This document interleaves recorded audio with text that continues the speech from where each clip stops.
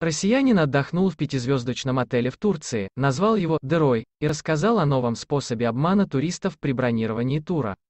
Своими впечатлениями он поделился в личном блоге на платформе Яндекс.Дзен. Автор признался, что ему больно видеть лица людей, которые покупают путевки в гостинице, работающие по системе «все включено», так как можно легко нарваться на обман.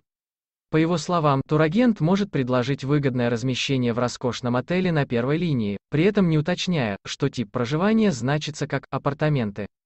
В таком случае гости могут поселить в обшарпанном номере пансионата, где не будет развлечений. Вы вытянули несчастливый билетик, и вас селят в некий придаток гостиницы, расположенный в полутора километрах от моря и от основного корпуса. У черта на куличиках, объяснил путешественник и добавил, что ему приходилось добираться до пляжа на автобусе, который ходил раз в час. Ранее в октябре россиянка провела отпуск в турецком отеле «Ультра все включено» и предупредила о схеме обмана постояльцев.